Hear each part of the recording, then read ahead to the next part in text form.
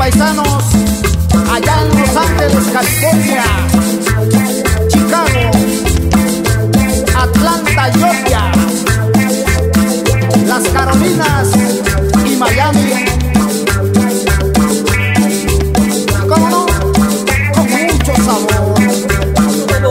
Los playeros.